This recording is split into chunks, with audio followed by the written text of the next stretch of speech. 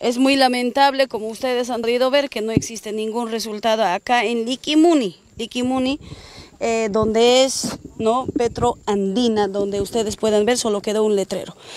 Ahí vamos a pedir de manera inmediata una petición de informe al Ministerio de Hidrocarburos y EPFB para que nos puedan informar de manera detallada, concreta y precisa con relación a este pozo petrolífero que ha tenido fracaso en gestión del señor Evo Morales. Lo que él ha invertido son 160 millones de dólares, lo que es Liquimuni. Ya eh, en sí nuestro presidente ha invertido acá 50 millones de dólares. Hay mucha diferencia con relación a esta inversión, a este pozo petrolífero.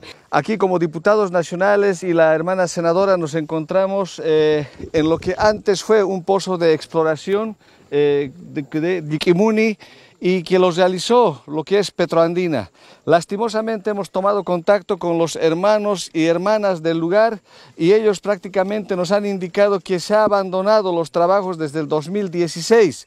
El gobierno nacional en ese entonces eh, presidido por el hermano Evo Morales Aima prácticamente ha invertido 540 millones de dólares a nivel nacional y en este sector ha invertido 160 millones, de los cuales lastimosamente de esas cifras que hemos mencionado no ha tenido resultados correspondientes. Ahora, lo más grave que hemos tenido en estos últimos eh, momentos que nos han informado es que han hecho un abandono de la empresa en ese momento que estaba realizando la perforación de una manera sospechosa, porque ellos nos indican, y eso hay que averiguarlo, eh, que estaba como autoridad máxima en ese momento la señora Gabriela Zapata.